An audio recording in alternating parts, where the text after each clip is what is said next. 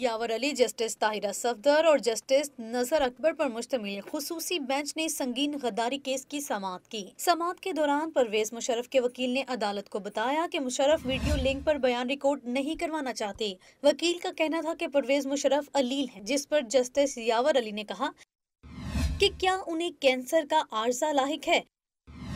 سابق صدر کے وکیل نے بتایا کہ ان کے موکل کو دل کا عارضہ ہے۔ وہ بزدل نہیں اور نہ ہی انہیں کیس کا خوف ہے، بلکہ وہ خود پیش ہو کر اپنے دفاع میں شواہد پیش کرنا چاہتے ہیں۔ جسٹس یاور علی نے وکیل استغاثہ سے مخاطب ہو کر کہا کہ اگر بیان اسکائپ پر لینا ممکن نہیں تو استغاثہ کا کیا موقف ہے؟ مشرف کے وکیل نے دبئی کے امریکن اسپتال کا چودہ اگست کا سرٹیفکیٹ پیش کیا۔ بظاہر یہ سرٹیفکیٹ پرانا ہے، بعد میں خصوصی عدالت نے مشرف کا بیان ریکارڈ کروانے کے لیے کمیشن بنانے کا حکم دے دیا۔